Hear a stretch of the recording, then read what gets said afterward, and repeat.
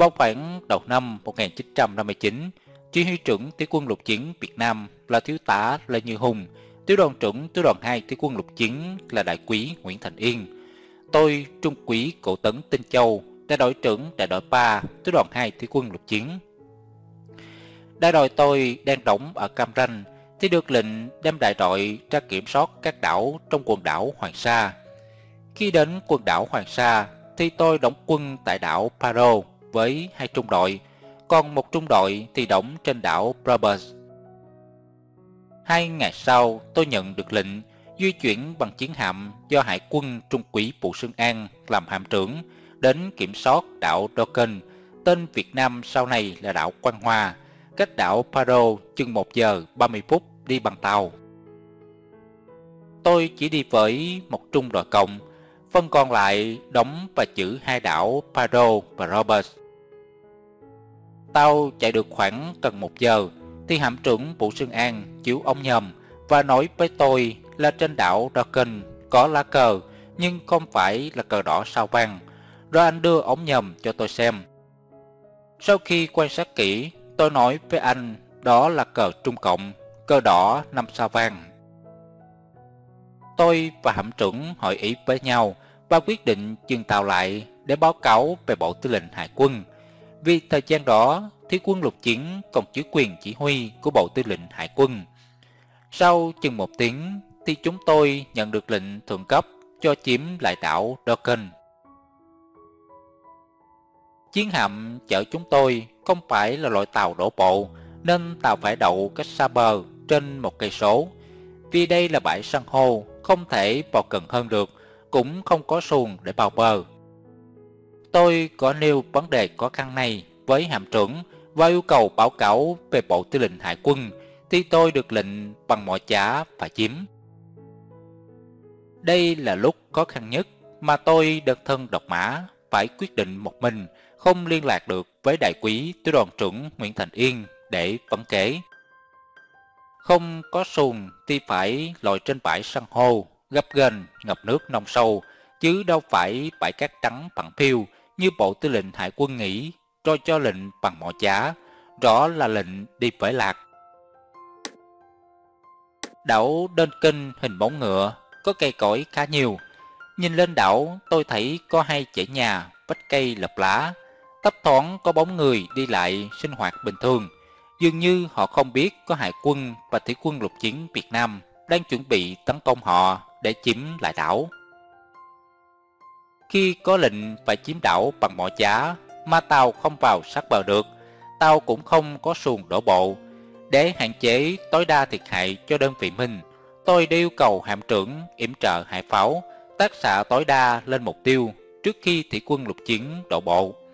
Nhưng sau khi quan sát tình hình trên đảo, tôi thay đổi ý định và yêu cầu hải quân chỉ tác xạ lên mục tiêu khi chúng tôi đã nổ súng trước.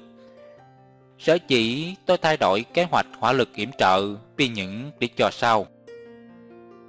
Thứ nhất, cơ Trung Cộng rõ ràng trên đảo, nhưng chưa xác định được những người trên đó là quân hay chân, hoặc cả hai lẫn lộn. Nên nếu hải quân tác xạ hải pháo lên đảo trước, thì chắc chắn có thương vong, chết thuộc chân thì rất tội nghiệp. Thứ hai, dường như lực lượng trên đảo không biết sắp bị tấn công, nên tôi chưa xin hải quân tác xạ lên mục tiêu trước để chữ yếu tố bất ngờ. Thứ ba, nếu trên đảo là quân Trung Cộng có vũ khí, khi hải quân Việt Nam nổ súng, coi như báo động cho họ chạy ra tuyến phòng thủ, thì khi tiến quân lục chiến Việt Nam bị bỏm loại nước tiến lên, thì chắc chắn sẽ là những tấm bia chi động chứa nước để quân địch trên bờ tác xạ. Tiết hại cho thị quân lục chiến là chắc chắn, nhưng chưa chắc đã chiếm được đảo. Đây là những giờ phút quan trọng nhất của các cấp chỉ huy trực tiếp tại mặt trận. Do đó, tôi yêu cầu hải quân sẵn sàng và chỉ trực xạ bắn tối đa lên mục tiêu. Khi có súng của địch quân từ trên đảo bắn vào thủy quân lục chiến chúng tôi đang lội nước đạp lên đá san hô tiến vào bờ. Chúng tôi đổ bộ xuống, tiến quân rất chậm và khó vì bước trên đá san hô. Khi đến gần bờ thì nước lại sâu nên tiến quân không nhanh được. Có nơi chúng tôi phải kéo binh sĩ lên khỏi những bụng sâu. Vừa tiến quân vừa hội họp, nếu lúc này có tiếng súng nổ trên đảo bắn ra, thì tiểu quân lục chiến chịu trận nằm giữa hai làn đạn. Đạn của địch từ trên đảo bắn ra và hải pháo của quân bạn hải quân từ ngoài biển tác xạ vào, thương vong chắc chắn là lớn. Rất may mắn đã không có một tiếng súng nổ khi chúng tôi hầu xung phong ào ạt tiến chiếm đảo, bắt được tất cả là 60 thanh niên không trang bị vũ khí, rồi đưa ra chiến hạm của Trung Quý An bằng xuồng của Trung Cộng. Tôi suy nghĩ đây không phải là thường dân Trung Cộng mà là chăm quân.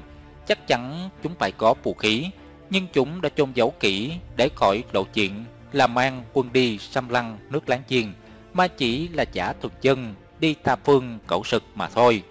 Ngoài ra còn có mục đích để dò phản ứng của Việt Nam Cộng Hòa và Hoa Kỳ nữa.